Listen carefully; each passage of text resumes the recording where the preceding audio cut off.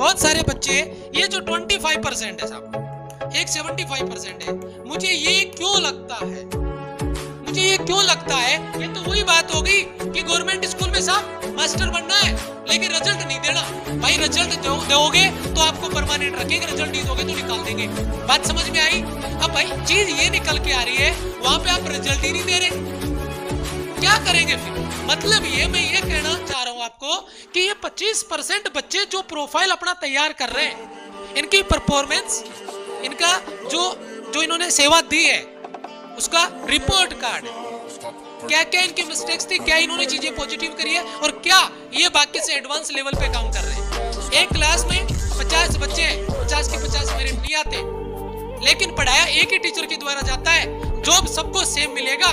एक उसमें extra order level पे काम कर रहा है और एक उसमें धक्के लगाने पे भी काम नहीं कर रहा।